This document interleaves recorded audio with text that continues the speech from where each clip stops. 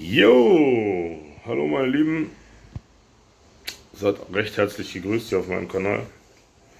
Da leben wir Urlaub machen. Und ich möchte heute ein paar User-Fragen, beziehungsweise Fragen, die ihr habt, versuche ich zu beantworten, nach bestem Wissen und Gewissen. Ich möchte vorher noch den Faruk grüßen, den Senat, den Welcome Alanya Goodbye Germany und meinen lieben Freund den Herbert, den Bodo in Alanya. Ihr wisst sicherlich, wir haben eine, ein Quartett gebildet, arbeiten jetzt zusammen, suchen uns auch Themen raus, die für alle interessant sein können. Falls ihr da wissen wollt, wer wer ist, verlinke ich euch gerne gleich noch das Video, das Vorstellungsvideo von uns allen unter dieses. Dann dürft ihr gerne auch beim Faruk von Herbert und beim Senat ein Abo und ein Like da lassen. Eventuell auch einen Kommentar. Aber das bleibt euch überlassen. Ja, liebe Leute. Ähm, es kommen immer wieder Fragen, die ich eigentlich selbst gar nicht beantworten kann. Die müsst ihr euch selbst beantworten. Aber ich möchte da einfach mal drauf eingehen, weil es heißt, ähm, wenn ich jetzt in die Türkei komme und ich fliege zurück nach Deutschland, muss ich dann in Quarantäne. Leute, ich höre mittlerweile die verschiedensten, wildesten Geschichten ähm, von, da steht Polizei am Flughafen, die verlangt ähm, hier aktuell den Corona-Test aus der Türkei. Den wollen die sehen. Wenn der negativ ist, alles gut. Wenn der positiv ist, müsst ihr natürlich, kommt ihr gar nicht nach Deutschland. Es ist aktuell so, dass ihr hier in der Türkei in Quarantäne bleiben müsst. Ähm, Ob es häusliche Quarantäne ist oder in irgendeinem Hotel, weiß ich nicht. Aber ich habe es halt von vielen Pauschalurlaubern gehört, dass die dann in ein ähm, Hotel müssen, was extra Quarantäne ist, also Quarantänehotel. Und dort werden sie auch mit Essen und Trinken beliefert. Privat sieht es natürlich anders aus. Aber da kommt die ähm, Beldier, nennt mich, schlag mich tot. Beldiesi, Beldier.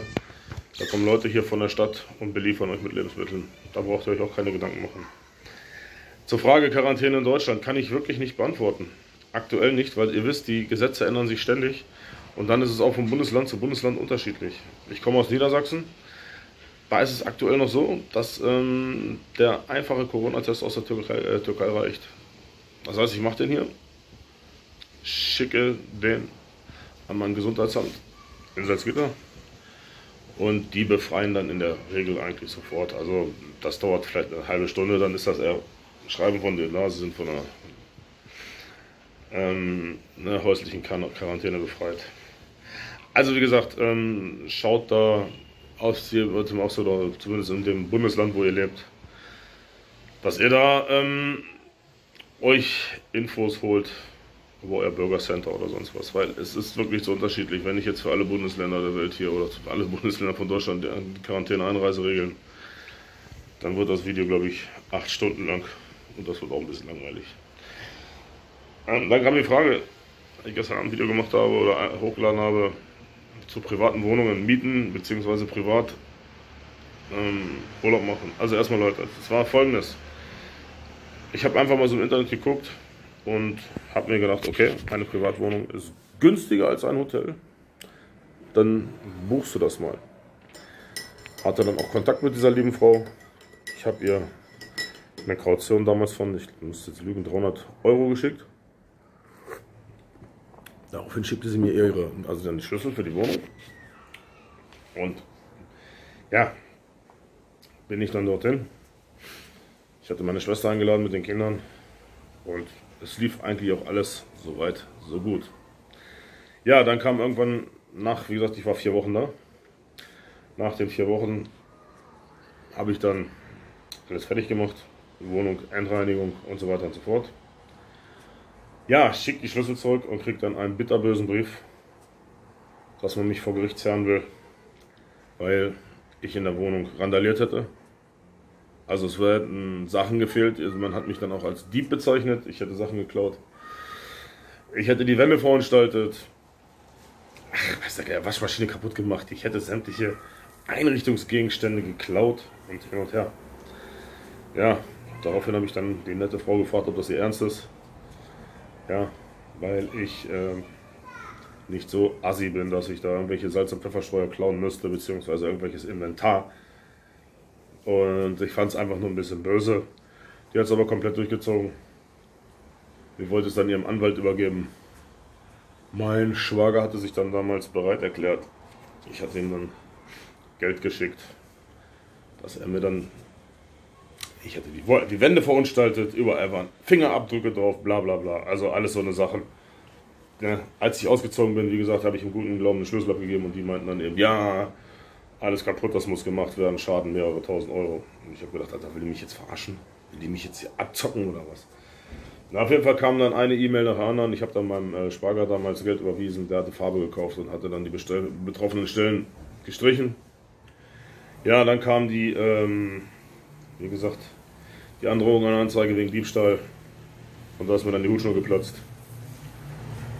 Ja. Also, die Geschichte ist gut ausgegangen, weil ich ja meine Meinung gesagt habe. Ja, war eine, leider eine ältere Frau, die die Kohle brauchte. Keine Ahnung. Ich habe noch gefragt, sollen wir die Wohnung verkaufen? Oder sollen wir Schlüssel schicken? Dann fahre ich sofort selbst hin und gucke nach, ob da wirklich alles fehlt. Ja, da war sie natürlich nicht bereit zu. Also ich gehe mal davon aus, weil es mit Endreinigung war, dass dort einige Sachen mitgehen lassen oder mitgegangen wurden, gemacht und gelassen sind. also, ja. Nicht, also für mich ist die Geschichte relativ ausgegangen, gut ausgegangen. Ich habe 200 Euro meinem wie Schwager überwiesen und dann hat er das da. Ja. viel Geld, ich weiß, aber besser als viel Stress. So, die nächste Frage von euch war, Aja Hotel, kannst du das wirklich empfehlen? Leute, ich habe damals, viele kennen das noch, als es rötlich war. Das hatte so eine rotbraune Farbe.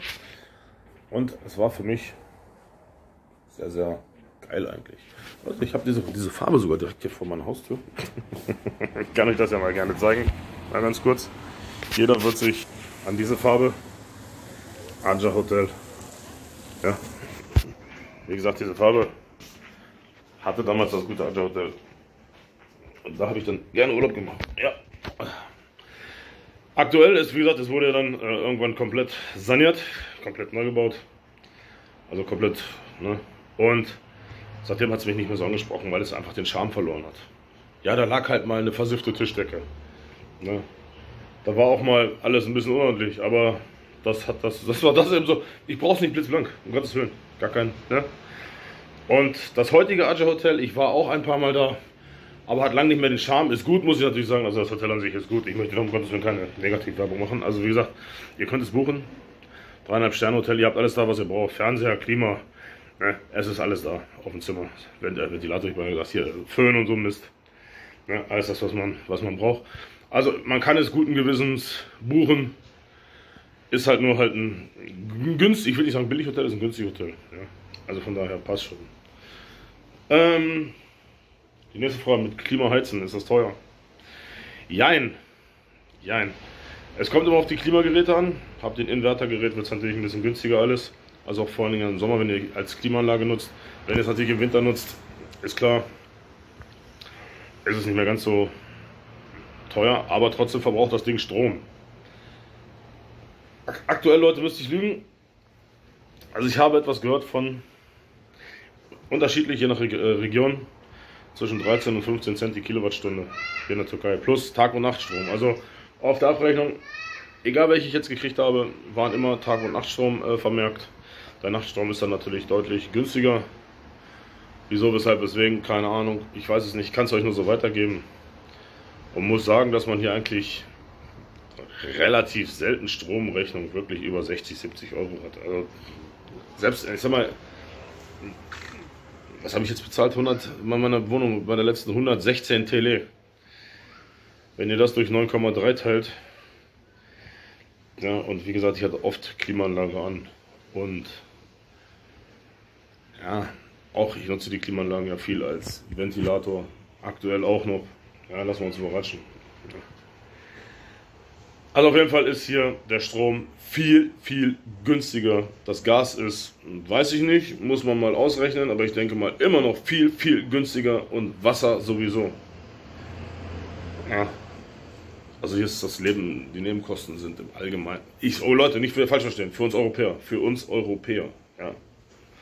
Beziehungsweise für die, die mit dem Euro hierher kommen. Das wird, glaube ich, immer noch falsch verstanden, natürlich. Weil der Türke an sich oder der Einheimische, der hier wirklich mit seiner, ne, der seinen Mindestlohn hier verdient, der muss zusehen, dass er damit über die Runden kommt. Das ist klar. Und wenn er dann hier, sagen wir mal, wirklich eine gute Wohnung hat, eine günstige 1200, 1200, ja, ist auch, 1200 ist auch eine geile Zahl. 1200, 1200 Tele, sage ich mal. Ja, dann kommt noch äh, seine Nebenkosten dazu, auch nochmal 300, 400 Tele.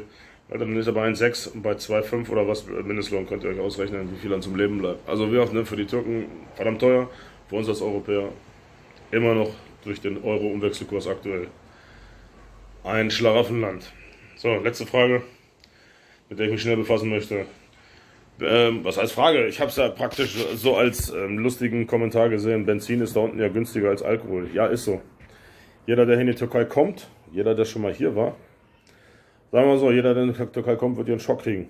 Wenn er, natürlich nicht in den Hotels, da gibt es, wenn ihr All-Inclusive habt, habt ihr ja alles vor Ort. Also, ne, Alkohol, wisst ihr ja.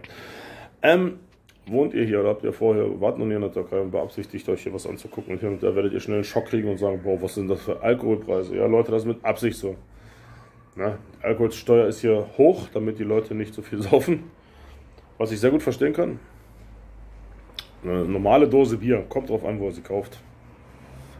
Mm, also ich habe das gesehen beim Großhändler, ich glaube ab 11 Tele oder sowas. Ne? Und hier in den kleinen Tekel-Shops am, am, Strand, egal wo, zahlt ihr ab 20 Tele aufwärts. Also es kann auch schon nach 22, 25 sein, je nach der, welcher Biersorte. Ne? Und ja, sollte man sich überlegen.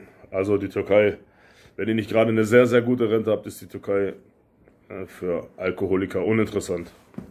Aber das finde ich gut. Das sollte auch so bleiben. Ja, genauso wie andere Sachen, die hier sehr teuer sind.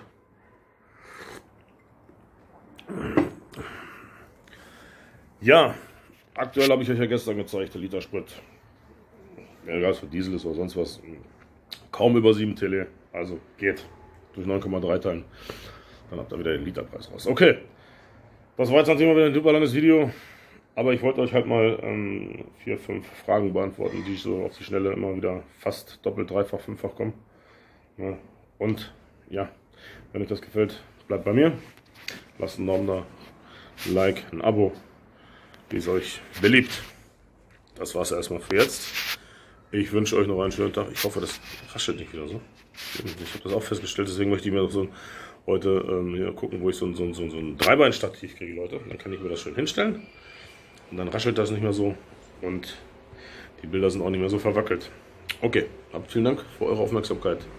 Ich entlasse euch jetzt. Wie gesagt, lasst gerne ein Abo da. Ja, teilt das Video von mir so in die Welt hinaus. Sagt euren Leuten, dass das ein tolles Team ist, die ähm, da gute Arbeit leisten. Okay, also vielen Dank. Denkt dran, ich teile das Video nochmal unter meinem Video. Das Vorstellungsvideo. Alles klar, bis dann.